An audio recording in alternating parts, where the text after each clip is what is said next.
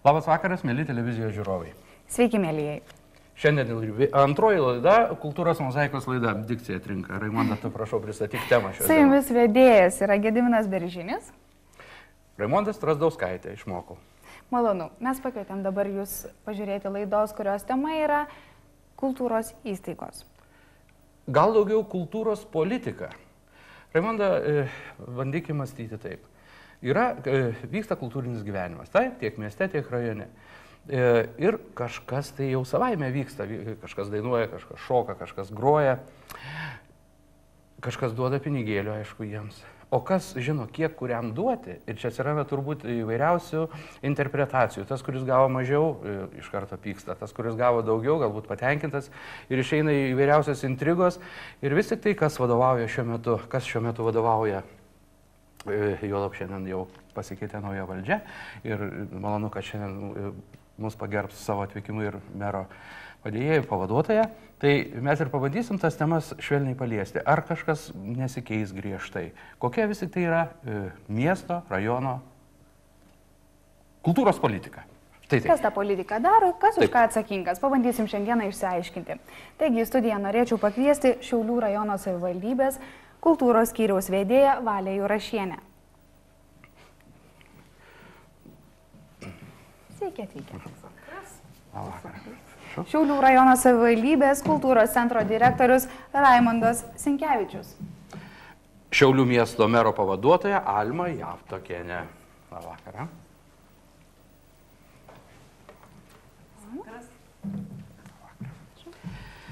Patricija Bielskinė, Šiaulių miesto savivaldybės administracijos kultūros skyriaus vedėja. Prašom.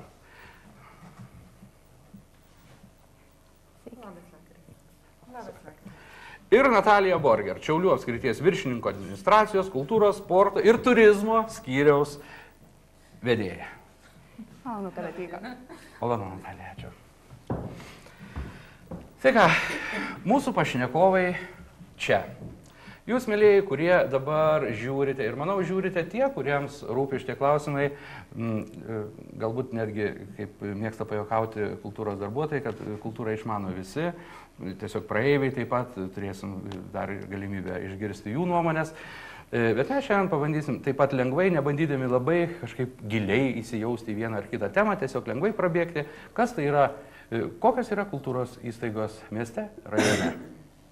Ir ką jos veikia tiesiog suteisim jums galimybę pasireikšti, papasakoti žiūrovams, paaiškinti, kurie gal nežino, ką jūs veikiate, kokia yra jūsų funkcija. Taip, kad gal ir pradėkim. Ir siūlau pradėti nuo dviejų, jums lengviau bus. Ar gerai? Jūs dviese pasitarsit ir, e, kad ir sakytų, yra kultūros skyrius vienoks, antroks, trečioks ir e, turbūt žmonės, kurie nesigilina į struktūras, jie nelabai ir žino, kas po tais pavadinimais slepiasi. Taigi, mėlyjei, jums žodis ir papasakokit, ką jūs veikiat, ką darot ir, ir, ir kaip jums sekasi, prašau. Labas vakaras, žinau, visiems. Ir jeigu kalbant apie rajono kultūrą ir šiandien toks pavadinimas kultūros mozaika, tai tikrai pas mūsų rajone irgi mes galime pavadinti kultūros mozaiką ir rajone. Kadangi ne tik tais mes apimam renginius, Tai yra ir leidybinė veikla rūpinamės, ir e, rūpinamės ir e, premijos, e, kurių turime net šešias rajone, kurias įsteigė mūsų rajono taryba ir mes to labai džiaugiamės, kad galime daryti. Na ir e, jeigu taip truputėlį apie tą veiklą, tai iš ties rajone labai daug vyksta renginių per metus tiek Kuršienų mieste, tiek E, visuose kaimuose. E, ir e, taip skaičiuojam pagal, pagal visus suvestus rezultatus, pravedame virš 700 renginių. Tai daug ar mažai mes sakome, kad tai tikrai nemažai. Aš jums truputį taip. pristatykit kolegą, kad jums taip. būtų lengviau kalbėti ir pradėti pokalbį, kad ir apšiltumėt ir jums būtų lengviau. Kadangi apie mozaiką, tai aš pradėjau aiškinti, ką mes veikėme. O kadangi yra kultūros skyrius, yra ir kultūros centras. E, nuo 2002 metų atskyrė e, administravimą nuo paslaugų. Taigi kultūros centras atliekamas atlieka visas kultūrinės paslaugos, kurios yra teikiamos mūsų rajono gyventojams. O mūsų skyrius, jisai vykdantis administravimą ir vykdantis priežiūrą, metodinę paramą teikiantis visiems kultūros darbuotojams, kurie dirba įvairiuose baruose, na, o skyriuje mes turime specialistų, žanrinių specialistų, kurie ir atlieka tą tokią metodinę paramą visiems darbuotojams. Na ir Kaip sekasi tuos visus renginius organizuoti, tą kuruoti tą sferą? Renginius kuruoti ir galbūt e, norėtume pasigirti, ką mes tikrai pasakiau, kad e, labai daug renginių e, padarome per, per metus ir kad turime kiek tai kolektyvų. Kolektyvų rajone priskaičiuojama virš 150. Ir galime pasigirti, kad iš tų visų turime net keturias aukso paukštės atskridusias į mūsų rajoną. Tai yra įvertinimas pats jau didžiausias Respublikos. Ir taip pat organizuojame mes ne tik tais Kuršienų mieste daug renginių, bet daug renginių vyksta ir, ir kaimuose. Ir kartu, kad vyktų tie renginiai, yra taip, mes taip labai džiaugiamės, kad vyksta pas mus toksai komandinis darbas kartu. Kartu centro, kartu visų centro filialo ir mūsų kultūros skyriaus darbuotojų bendras sutarimas ir, ir gražus bendri rezultatai vyksta. Lyg tai teritorinių atžvilgių atrodytų, kad kultūra apima apskritį, ar ne? Ir Taip. tame pačiame lyg tai kažkas toj pačioje erdvėje lyg tai viskas lyg tai dubliuotųsi, ar ne? Kad miestas taip pat lyg tai rajone yra. Tai dabar aš, geriau, Patricija, ar čia jūs du, du, trys viename, ar kur jūsų e, prasideda, kur e, kompetencija baigėsi ir kur prasideda jūsų valdo, sakykime. Taip, labai simboliškai, aš sakau, taip. Ja. E, yra Šiauliai, Šiaulių miestas ir yra Šiaulių rajonas turintis savo centrą. Aš manau, kad Šiauliai vienareikšmiškai yra ekonominis, administracinis ir kultūrinis regiono centras. Šiauliuose vyksta virš 2000 renginių per metus. E, įstaigų pas mus yra tiek ministerijos pavaldumo, tiek apskrities pavaldumo, tiek ir savivaldybės pavaldumo. E, apskrities pavaldumo įstaigos yra dvi, tai Šiaulių filharmonija ir Višinskio biblioteka, e, ministerijos pavaldumo įstaigos, tai yra Šiaulių užros muziejus, e, tai yra dramos teatras, tai yra valstybinės kamerinis choras polifonija. Mm, e, švietimo ministerijos pavaldumo universitetas, kuris taip pat vykdo kultūrinę veiklą, konservatoriją. Prie universiteto yra Ne, ne, supratom, ne visai. Kiek e, jūs liečiate, sakykime, su tom išvardintom ministerijom priklausančiom organizacijom? Mes tiesiog bendradarbiaujame ir vis, visos miesto lėšos skirtos projektiniam finansavimui, jos skiriamos ne tik miesto kultūros įstaigom, kurio, savivaldybės kultūros įstaigom, kurios yra keturios, kurių taip ir nepaminėjau, mhm, nutraukėte mhm, mane, mhm. bet ir visas kultūros įstaigas mes finansuojame savivaldybės lėšomis. Tik todėl, kad jos visas veikia šiauliuose, jos dirba, jo, jos pateikia kultūros produktą šiauliečiams. O dabar sakykite, tai koks vaidmuo apskrities specialistai? Na, ponė Natalija. tai apskrities specialistui apjungti apskritį, tai ką aš ir norėjau pasakyti e, iš karto, nes labai daug kas maišo, kas yra apskritis ir jeigu sėdime tam pastate, kuris yra prie turgaus, tai reiškia, mes sėdime Šiaulių rajono pastate. Tai labai dažnas toks e, yra suklydimas, sakykime, todėl aš tiesiog noriu pasakyti, kad Šiaulių apskritį sudaro net septynios savivaldybės. Tai yra. Turėjome žemėlapį. E, taip, turime žemėlapį. Oi, atsiprašau. Va čia va yra va Šiaulių apskritis visa, o čia dar didesnis žemėlapis yra. Jo. Tai yra Šiaulių miestas, Šiaulių rajonas, Akmenės rajonas, Joniškio rajonas, Pakruojo rajonas, Kelmės rajonas, Radviliškio rajonas ir viskas atrodo, visus, mhm, visus mhm, suminėjau. Mhm, tai, va, tai mūsų užduotis apskrities ir, ir mes tą dirbam, e, būtent apjungti, apjungti, apjungti pajėgas, pajėgos labai didelės, Patikėkit manim, nesitikėjau, eidama į šitą darbą, kad e, tikrai tokių gražių dalykų darosi visose rajonuose, yra puikių kolektyvų, yra puikių renginių. E, ir dar mūsų reikalas yra padėti, padėti žmonėms vykdyti kultūrą. Padėti, nu, kadangi mes esame valstybės tarnautojai, tai mes šiaip tarnaujame žmonėms. Ir e, mes, jeigu, jeigu jūs leisit, kaip sakėt, pasigirti pradžioje laidos, taip. jūs taip minėjote, Tai e, noriu pasakyti, kad mūsų apskrities dėka, tai aišku ir mūsų departamento, ir, ir mūsų viršininko apskrities, e, nes jis yra apskrityčių vadovų e, sąjungos prezidentas. E, yra šiek tiek padidėję pinigėliai apskritims e, region, kultūros, regioniniai kultūros programai, taip pat ir e, jau šiais metais mes pirmą kartą ir sporto, kultūr, sporto plėtros programai turime lėšų. Tai tokiais dalykais labai norisi girdėti. Noriu šiek tiek. Prieš darant, žiūrint mūsų filmuotą siužetą, aš norėčiau paklausti, jūs viens kitą prieš ateidami čia į studiją pažinojot? Savai mes suprantame. Bendraujam. Labai aktyviai. Gerai. Tai, tada... tai jums nekyla klausimas, kas už ką atsakingas, ką ir veikia. O mes paklausėme žiūrovų iš tikrųjų, ką veikia kultūros darbuotojai. Koks iš tikrųjų jų darbas, ar jie turi tam tikras pareigas, ar vykdo jas. Tai prašome pažiūrėti filmuotą medžiagą.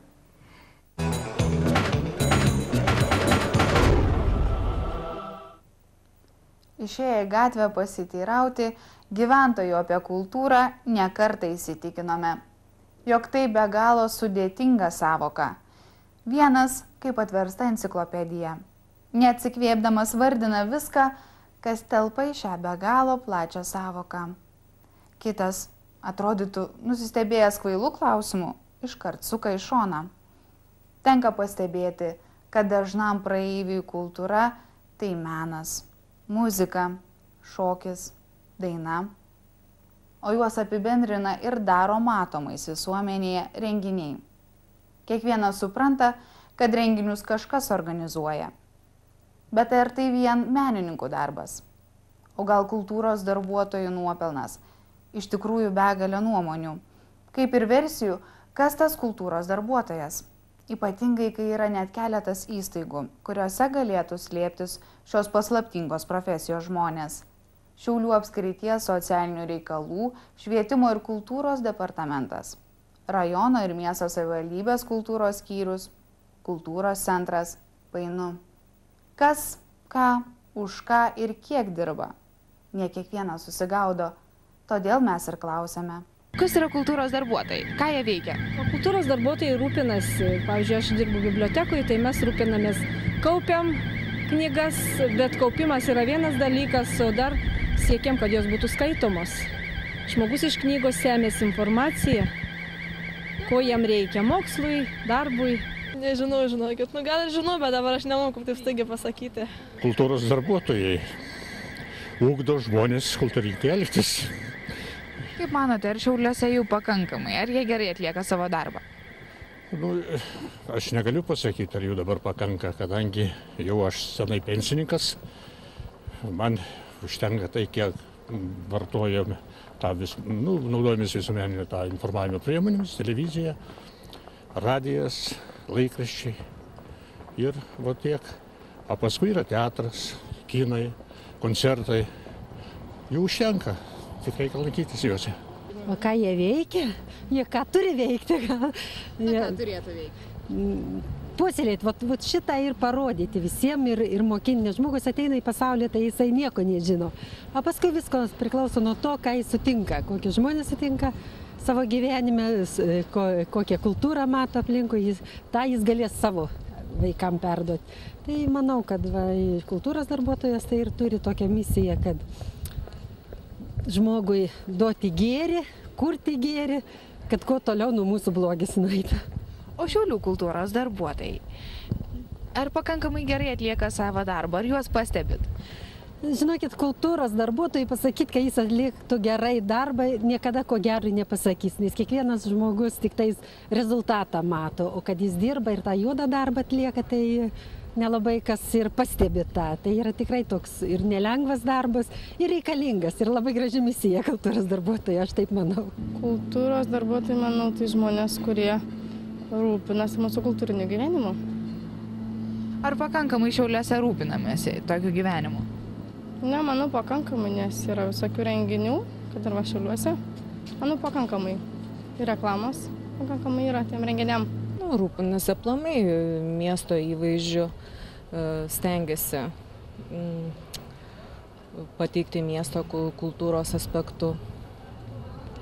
Jie reikalingi ar iš tikrųjų tai yra tik papildoma pareigybė? Aš manau, kad reikalingi. Architektai rūpinasi, kad gatvė būtų šviesi, graži, e, ten kultūros namų, meno vadovai rūpinasi, kad žmonės turėtų kur lankytis, e, užsijimti kokią nors ar muzikinę, ar kokią meninę veiklą. Miesto kultūros skyrius rūpinasi, kad visi būtų organizuoti, sukooperuoti, turėtų lėšų ar turėtų galimybę ją gauti. Žodžiu, čia labai plati savoka irgi. Kaip manote, ar paprastas pilietis supranta svarbą to kultūros darbuotojų ir ar juos vertina? Geras klausimas, turbūt ne visi supranta. Dabar, kai šitam pinigų amžiuje, kas turtingas, tas protingas ir kultūringas, tai kiti, kurie kitaip mano, turi tai pasiduoti jėgos tam pozicijai. Bet apskritai tai kultūros darbuotojai, manau, nepasiduoda. Kultūros darbuotojai atlieka algą pasimti, pinigus pasimti prikasos. Tai galvojate, kad jie tiesiog valdininkai ir niekam nereikalingi? Galbūt reikalingi, bet jie propagandos jokios neveda. Kultūrinės, turiu menį. O gal turite receptą, kaip reikėtų jiems pasitaisyti? Nu, taip pat imti tokią poziciją kaip ir jūsų. Agituoti žmonės, aiškinti, aiškinti visas, visus privalumus. Visi gali būti kultūros darbuotojais, manau. Auklėjant vaiką irgi galima atlikti tokį darbą. Ar reikalingos tokios pareigybės? Žinoma, reikalingos. Kokia iš jų nauda? Buvo nauda. Nu, tokia žmogus be kultūros, tai beždžionė pavirsi. Ar paprastas pilietis, kaip manote, vertina kultūrininko darbą? Manau taip. Protingas pilietis. Pačios šventės neatsiranda iš niekur. Tai žmonės reiškia dirba. O ar tai yra gerai, ar tai blogai, nu, tai irgi, aš manau, kritikuoti, tai čia Lietuvoje labai visi mėgsta, bet ką nors padaryti gero, tai nelabai atsiranda norinčių. Tai manyčiau, kad reikėtų gal mažiau saviplaka užsimti, o daugiau visiems dirbti ir dirbti tą, ką išmano. Tai būtų pats geriausias.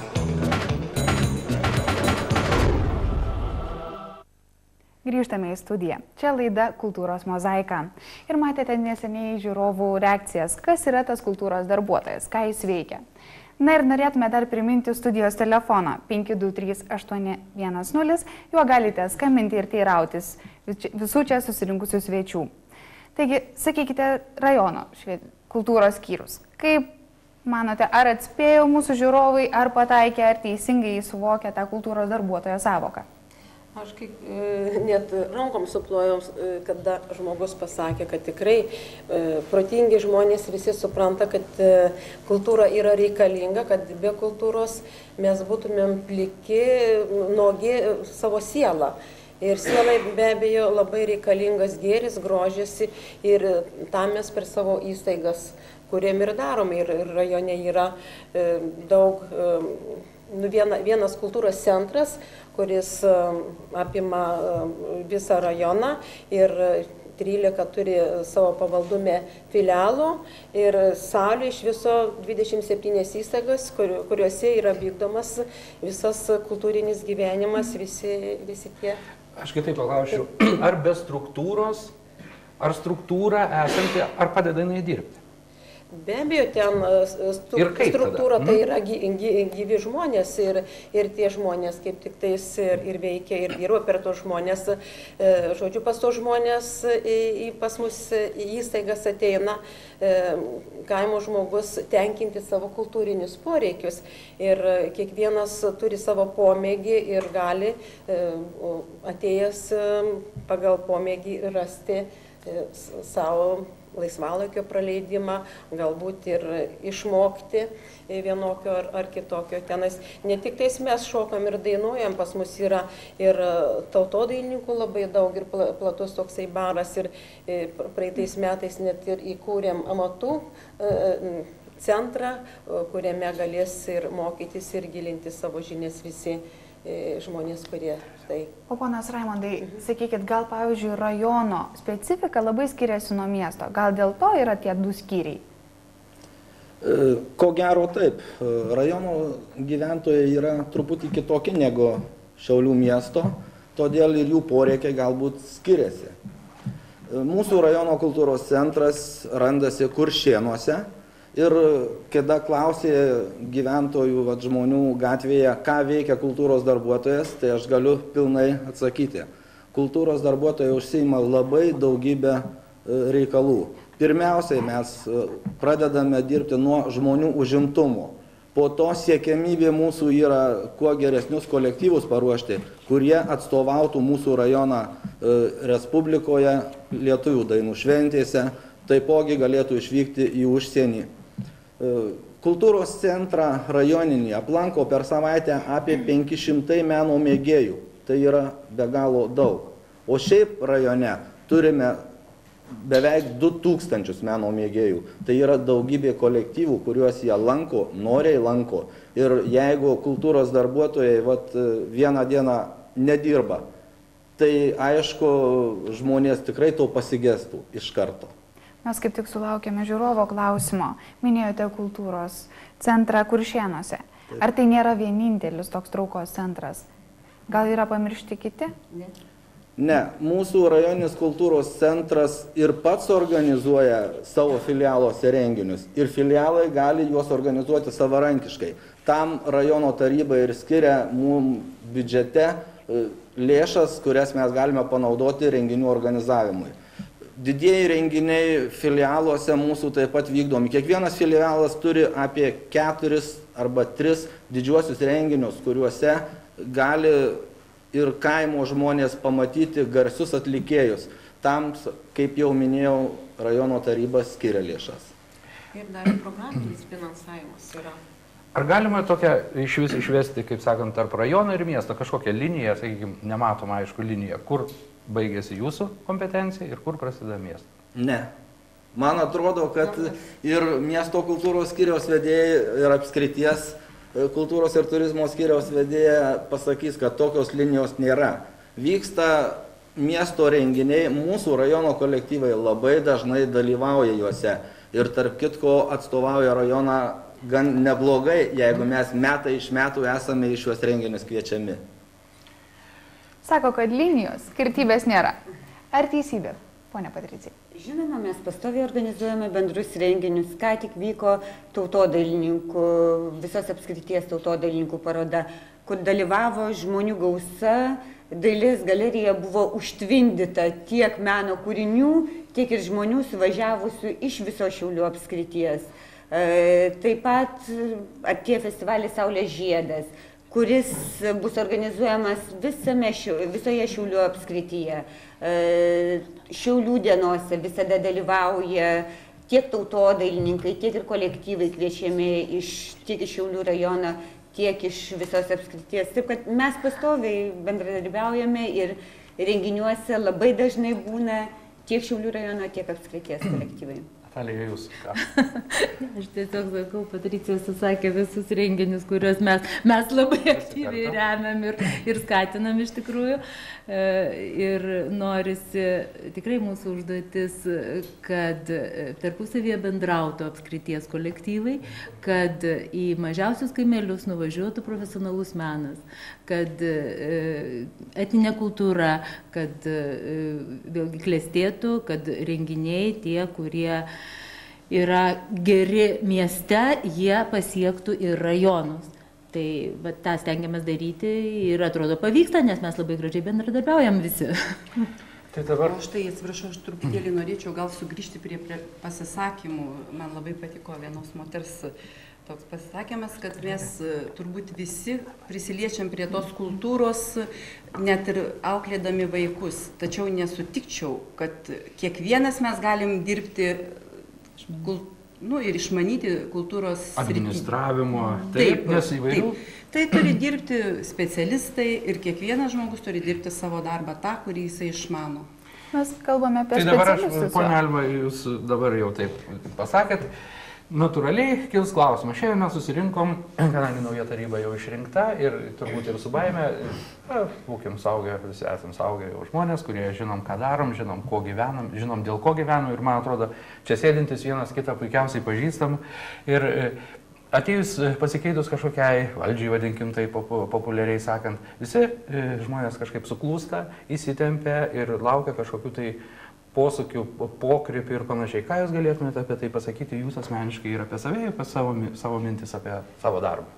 Iš tikrųjų, tai kiekvienas valdžios pasikeitimas, kadangi esu ne, pirmi, ne pirmą kadenciją taryboje, tai teko pastebėti, kad iš tikrųjų sutrikdo net ir darbą, nes kiekvienas žmogus dirbdamas jisai jau pradeda galvoti apie save ir jau ko gero kažkurį tai momentą jisai negalvoja apie, tos, apie tą patį konkretų darbą, kurį jis turi veikti. Bet mano nuostata yra tokia ir, ir nuomonė, kad neturėtų žmonės dirbdami savo darbą e, drebėti, bijoti dėl savo vietos.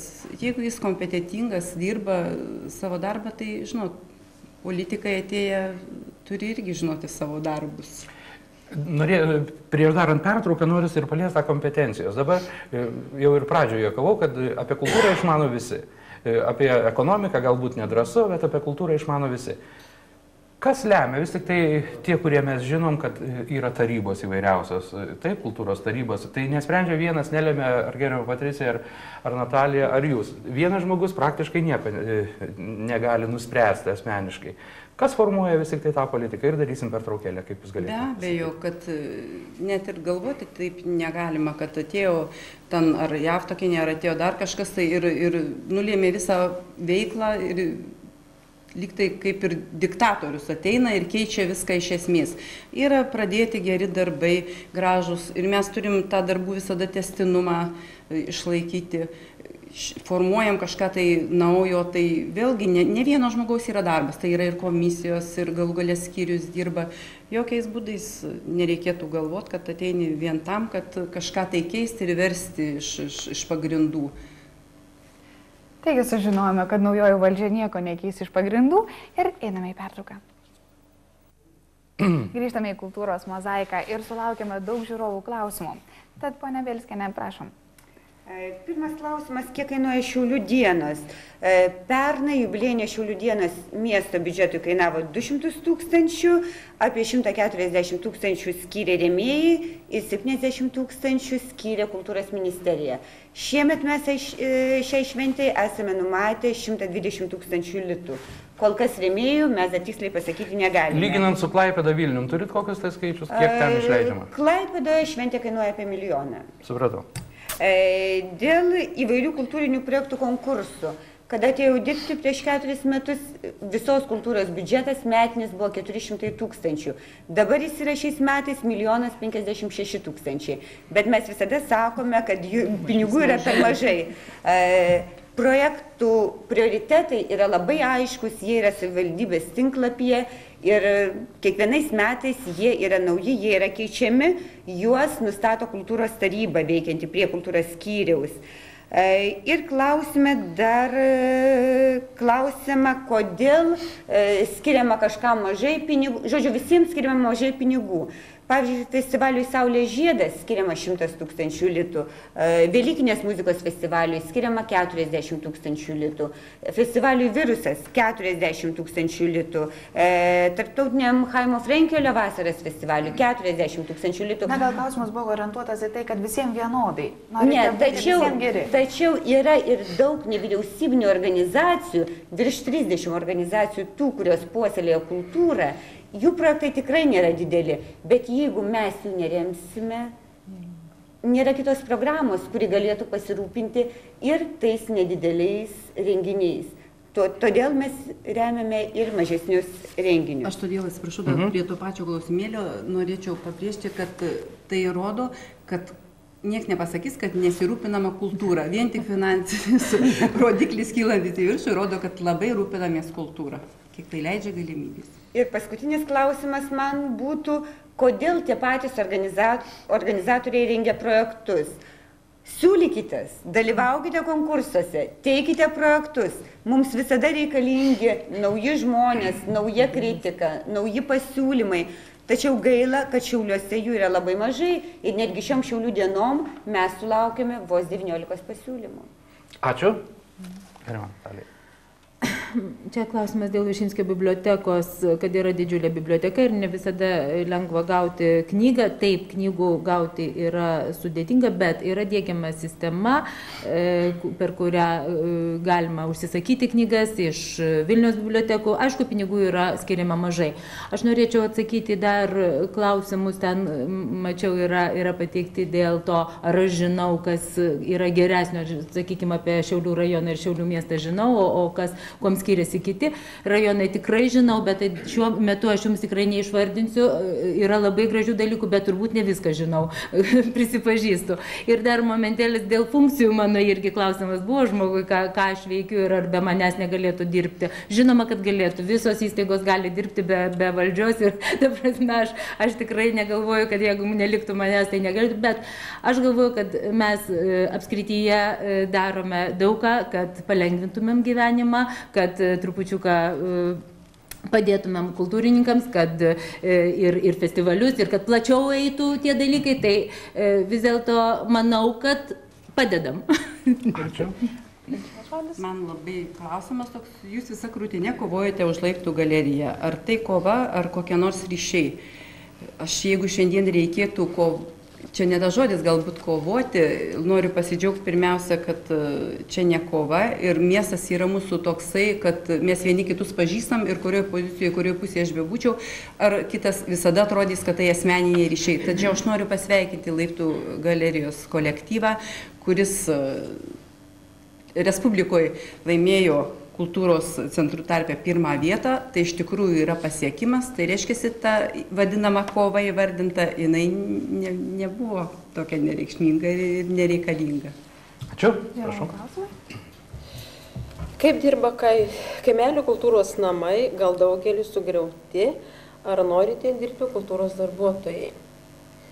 Norėčiau pasakyti ir pasidžiaugti, kad mes visas kultūros įstaigas esame išlaikę ir kad sugriautų kultūros namų tikrai neturime ir ar, ar noriai dirba. Vien tai nuo kolektyvų skaičiaus galėčiau pasakyti, kad žmonės tikrai dirba ir specialistai ten yra geri. Jeigu 150, virš 150 yra rajone kolektyvų ir 26 priskaičiuojami kuršienuose, tai man atrodo kaimuose tikrai yra daug kolektyvų ir žmonės ten dirba, o dirba todėl, kad e, kas metai yra sudaromos ko geresnės sąlygos, mūsų rajono taryba ir mūsų rajono vadovai tam skiria ypatingai dėmesį, kad metai iš metų gerėtų kultūrinis gyvenimas ir kad e, galėtų kiekvienas savo poreikius atėjęs tenkinti vis, vis geresnėse sąlygose. Ir e, mhm. galiu pasigirti dar, kad nuo, nuo ši, žodžiu spalio mėnesį vyriausybės mastu buvo pakelti atlyginimai 14 procentų ir nuo sausio pirmos mūsų rajono tarybai, mūsų vadovų dėka, mūsų kultūros darbuotojai gauna 10 procentų ir taip pat dar didesnį atlyginimą. Galima pasidžiaugti dėl to. Taip. Ką iš mūsų tokio trumpo pokalbio kažką tai gavo naujo žiūrovai. Tai svarbiausia. Jūs visi vėlgi e, eilinį kartą pamatėte viens kitą ir taip supratom, kad ir kaime, ir mieste, šiaulių žmonės gali ir save realizuoti, ir gauti tą, ką nori, savo peno. Yra atvežama pakankamai daug spektaklių ir iki Vilniaus, ir iki Kauno. Ir nėra jokios skirtybės tarp rajono ir miesto. Iš tikrųjų džiaugiamės, kad vieni su kitais susikalbate ir tikimės, kad mūsų laidos tiklas pasiektas, jog žiūrovas vis dėlto suprato, kas tas kultūros darbuotojas. Ačiū už dalyvavimą, dėkojam. Žiūrovams sakom, iki sekančios mozaikos. Iki.